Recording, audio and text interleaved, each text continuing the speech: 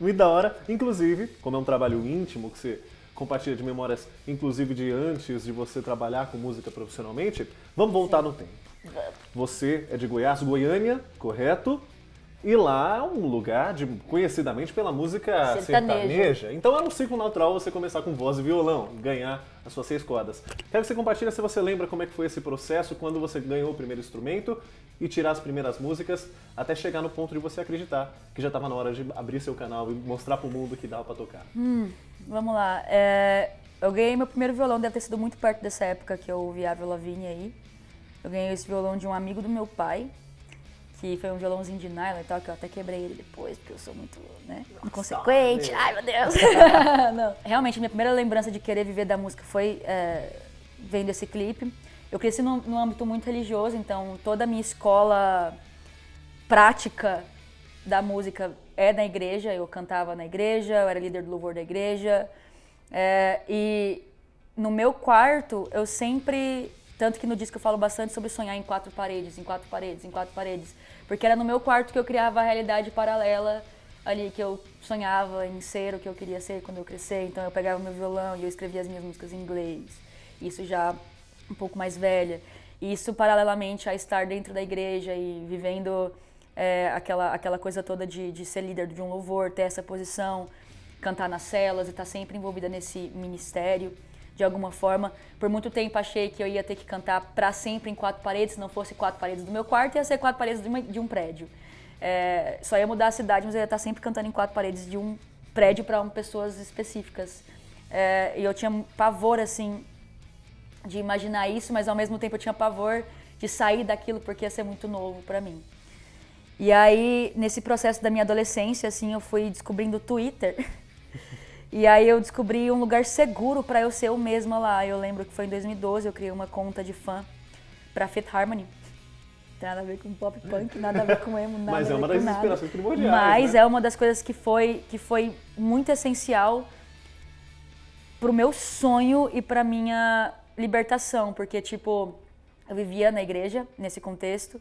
E eu criei uma conta de fã para Fit Harmony porque eu vi, eu vi o, o The X Factor lá, elas, elas fizeram as audições, todas elas, elas tinham mais ou menos a minha idade, é, elas eram um pouco, acho até mais novas que eu, e tinham esse sonho e participaram desse programa, foram colocadas juntas, e eu me identifiquei muito com elas enquanto gente, elas nem tinham músicas lançadas, eu me identifiquei muito com elas enquanto seres humanos e, e ali naquele programa, foi uma coisa muito surreal. E eu senti a necessidade de criar uma conta de fã no Twitter para elas, para enaltecer elas.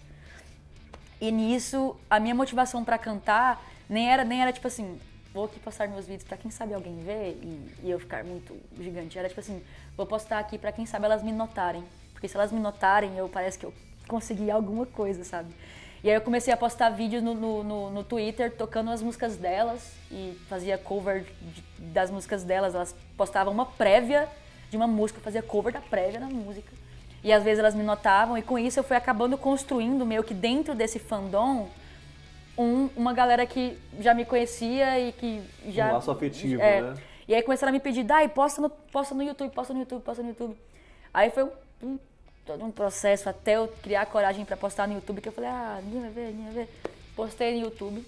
Essa galera foi pro YouTube, eu comecei fazendo vídeos em inglês, porque até no meu Twitter eu só falava inglês, era sempre inglês, sempre inglês. No começo eu falava que eu era hétero, caos. e aí, não, sim, caos, caos, caos. Até eu ver que naquele ambiente eu falei, mano, aqui é diferente da, da onde eu tô. Aqui as pessoas não têm problema com isso, que engraçado. Tipo, aqui parece que tá tudo bem se eu falasse. Se eu falasse que eu tenho atração por mulheres aqui, parece que não ia ser um BO. E aí isso começou a me deixar, mano, me sinto confortável aqui. Aí eu comecei a se sentir confortável para cantar outras coisas e, e, enfim, postei covers no, no YouTube.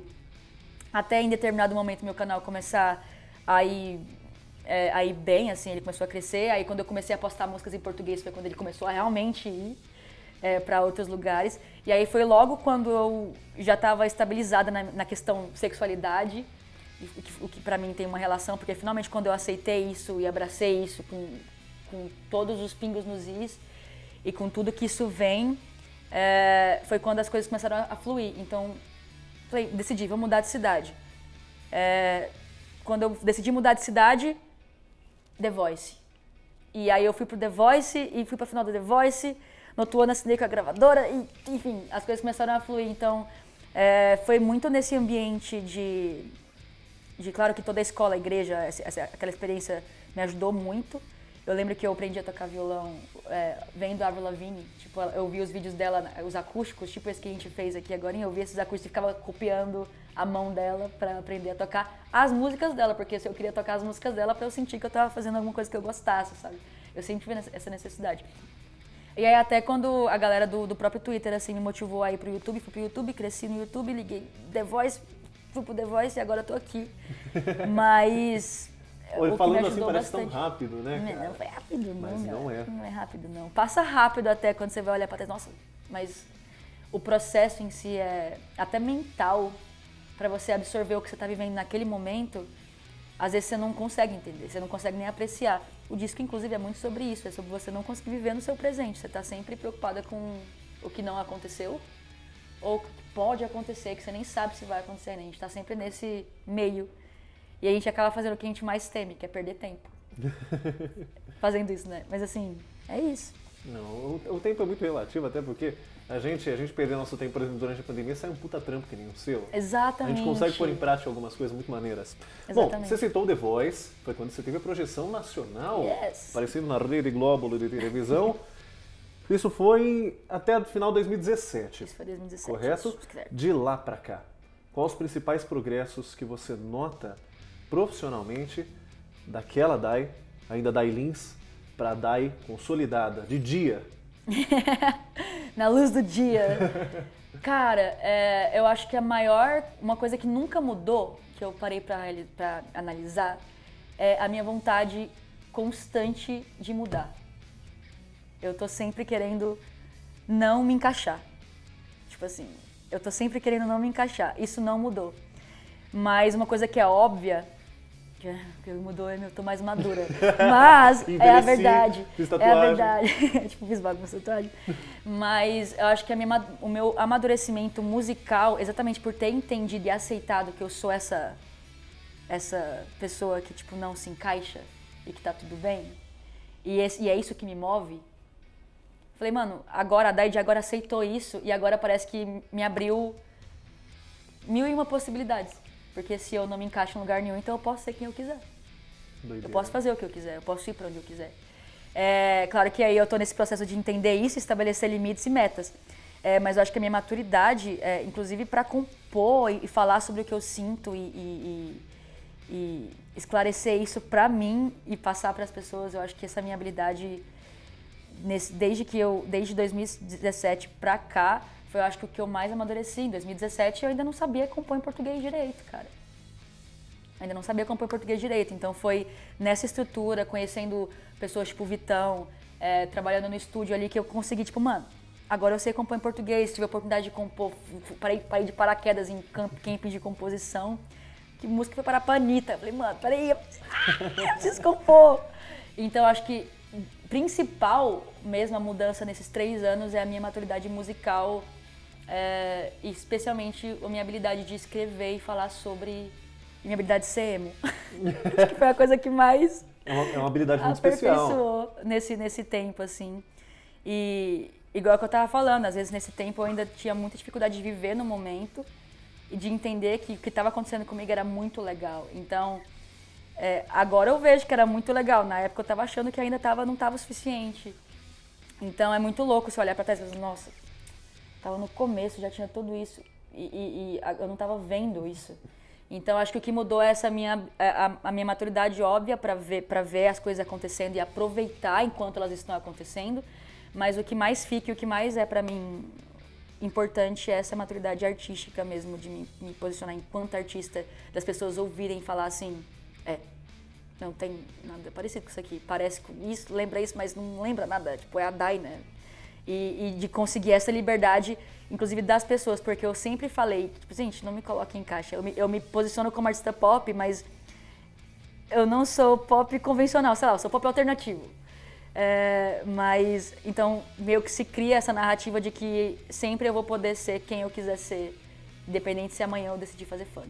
E construindo, construindo essa narrativa, É, é bom lembrar Sim, que mano, você, estando, você estando fora da, fora da caixa, não necessariamente quer dizer que você quebra padrões, isso é- seja algo muito genérico, É. porque isso é uma coisa linda de você passar, que estando fora da caixa, você pode encontrar outras pessoas fora da caixa. E sim, existe pop alternativo, por mais que a etimologia da palavra seja do popular, eu posso ser popular entre os meus, né? Não, E ah, errado. sim! Exato. Nossa, da hora isso que você falou. Maneiro.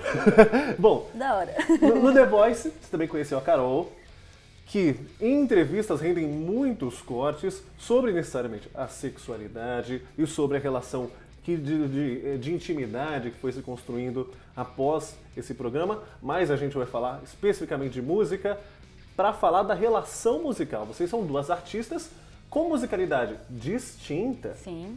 e como funciona a interferência uma das outras? Elas estão completando quase quatro anos de relacionamento. Sim, meu Deus. Como é essa interferência? Ela comenta os trabalhos que você faz? Cara, você dá pitaco? Sim, no começo foi muito difícil, inclusive acho que até pra, pra, pra produzir, pra pra entender quem que a gente era mesmo, assim, separadamente. Eu acho que a gente conseguiu separar sonoricamente mais por agora, assim.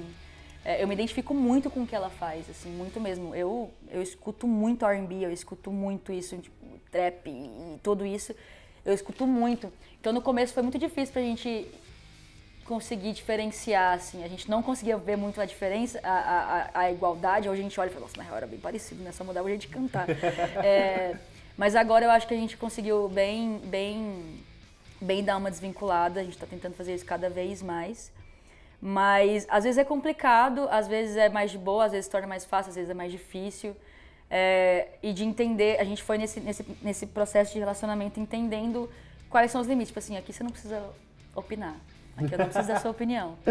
Sabe? De entender isso também, porque às vezes, pô, você tá sempre junto, é tipo, ah, vamos escrever uma música junta? Pá, não. Não, mas aqui não precisa da sua opinião, já tá A tudo certo. originalidade vai se formando É. assim, né? Exato, então a gente precisou passar por esse processo, tipo assim, pera, eu preciso da minha individualidade pra eu entender aqui quem eu sou enquanto artista, pra gente não ficar se atropelando.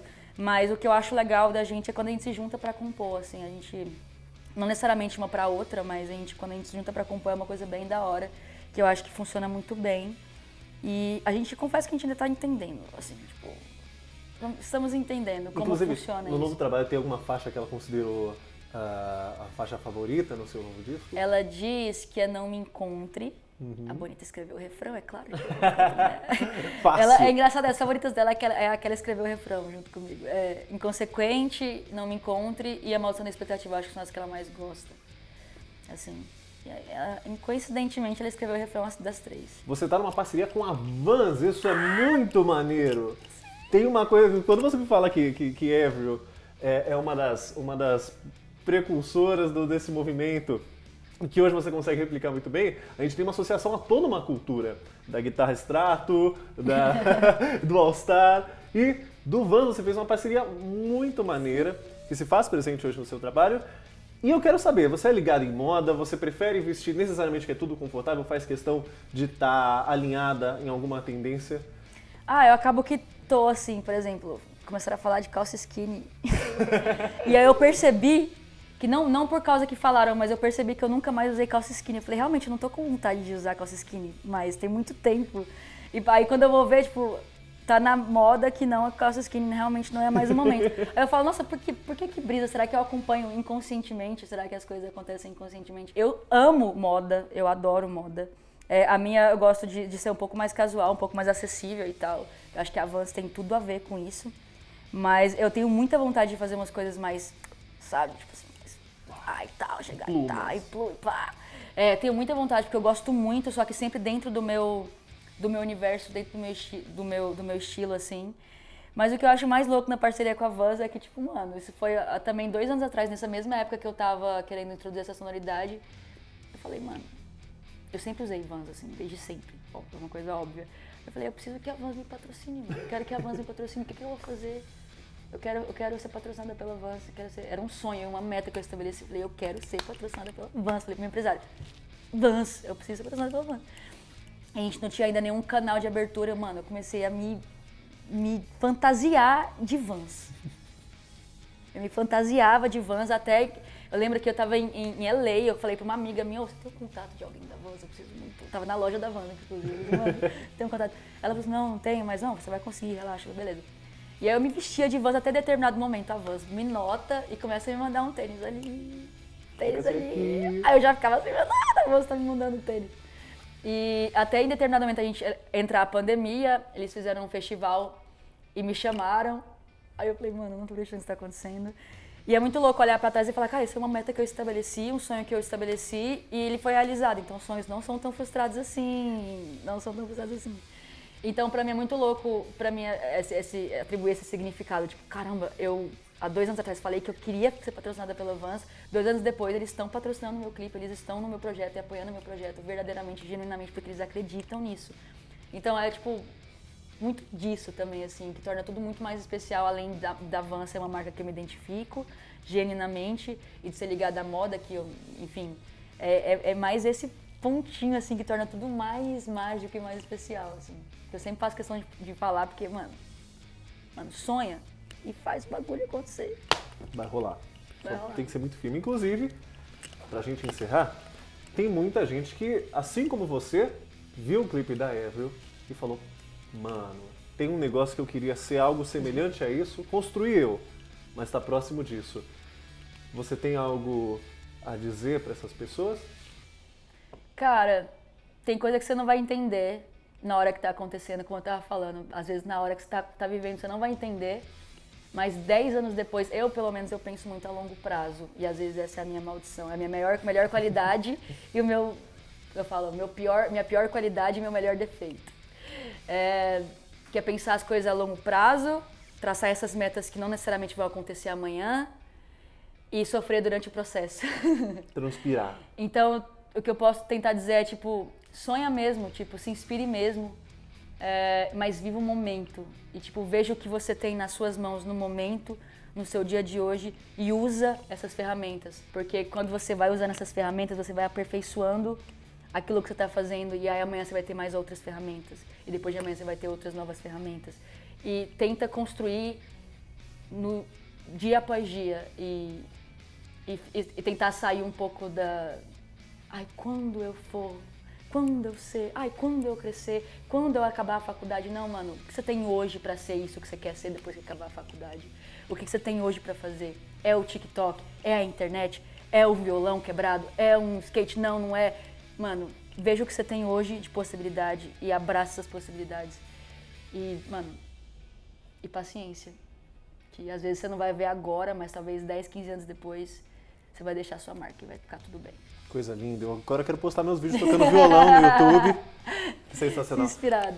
Dai, Tamo junto, muitíssimo obrigado pela disponibilidade. Muito obrigado àqueles que estão acompanhando, que acompanharam nossa conversa. Muito obrigada. Quem quiser achar mais da Dai consegue em tudo que é canto. Dai está em todo canto nesse momentinho.